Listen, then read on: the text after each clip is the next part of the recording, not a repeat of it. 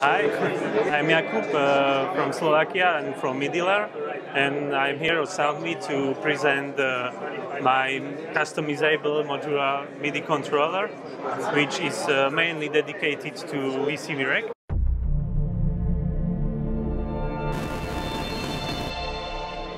So uh, yeah, uh, so I'd like to present uh, what's going on. It's it's about two years ago I started to explore uh, this amazing software VCV Rack, and I really want to have control over modules. So I start to making my own uh, DIY or MIDI controller and this is the final product. So uh, now I have uh, mapped uh, these uh, four modules. Like the first one is uh, envelope, second one is uh, VCO, next is filter and delay, and this unit I use for sequencer.